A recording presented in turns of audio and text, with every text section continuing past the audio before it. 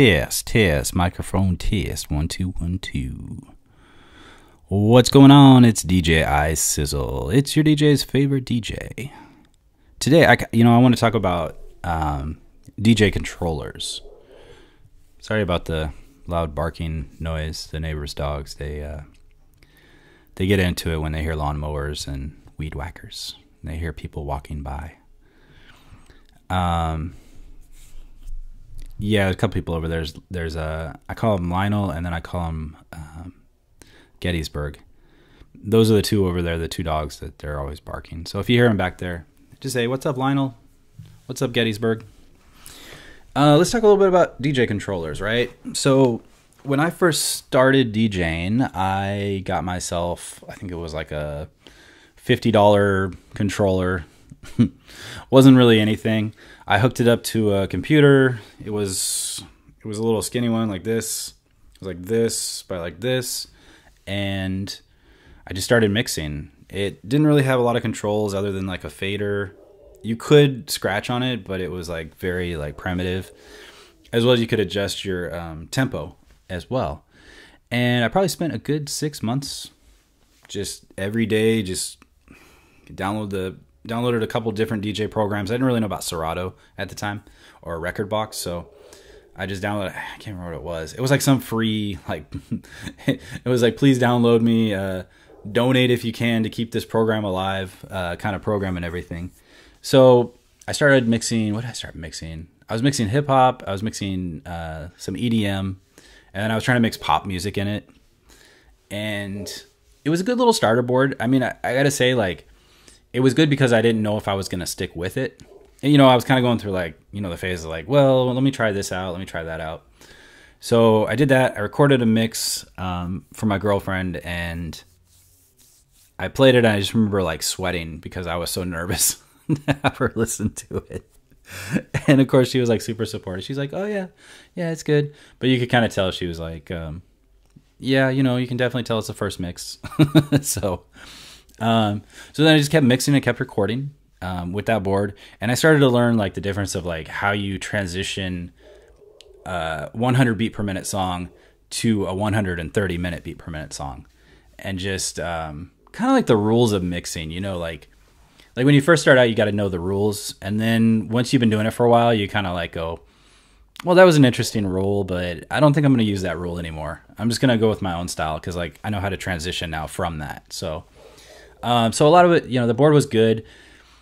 It was very, um, really, really basic, but it was still fun. And I was playing in front of, you know, friends, family, you know, five, ten people. Occasionally I'd just kind of show up. There'd be a bunch of people partying and I'd just like hook it up and just start playing music and just start mixing a little bit.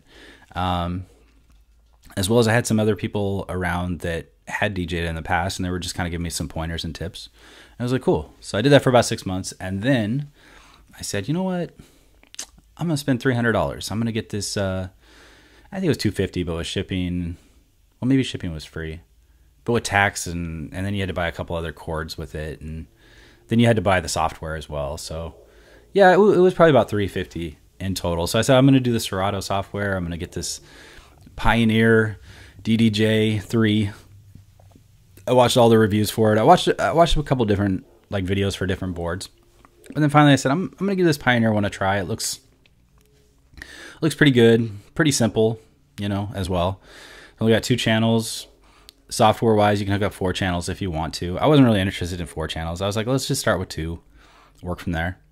Um, and I ended up practicing with that for about three years. I didn't really do any shows. I did a few shows, but it was more like I was just doing mixes um, in my studio, and then I had uh, access to a record label's whole catalog of hip hop music, all their artists. They had like over like forty artists on there, they had hundreds of songs, and I said, well, let me just load these up. Let me just start mixing them.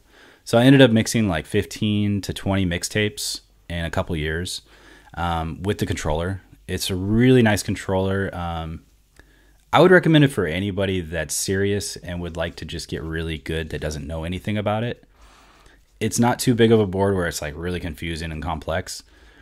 Um, and it's got some really cool like onboard effects and everything. So if you're just trying to mash out on a show, I still use the board um, at certain events, just because um, if it's a if it's a hip hop event, I mix hip hop really well with the board because I'm I'm really skilled at it.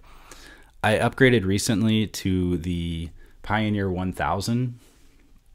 Um, it's amazing.